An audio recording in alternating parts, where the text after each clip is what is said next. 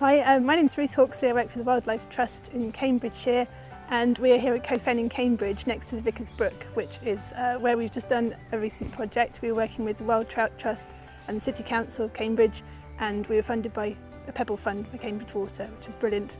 Um, this is a really nice little watercourse actually. It's chalk stream, comes from the springs at Nine Wells along Hobson's Conduit and then sort of overflows into Vickers Brook. So the water quality here is pretty good and it flows into the cam just over there.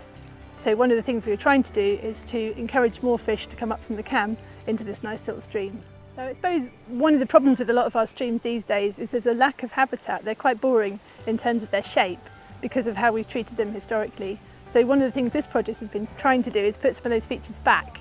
So we've put 40 tonnes of gravel back in this short stretch of watercourse. We've also um, changed the shape, we've made some narrower sections, some deeper sections. We've used a whole load of faggot bundles, probably about 30 or 40, in order to narrow the channel down and change the shape of the banks.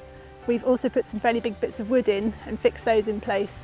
And all of these features help create more little niches, more diversity in the flows. You've got more deep and shallow, fast and slow, bends as well as straight, and some riffles over gravel and that provides a whole lot more different areas where um, different animals can live. So that includes invertebrates, different sizes and species of fish, and it should benefit the biodiversity of the whole stream.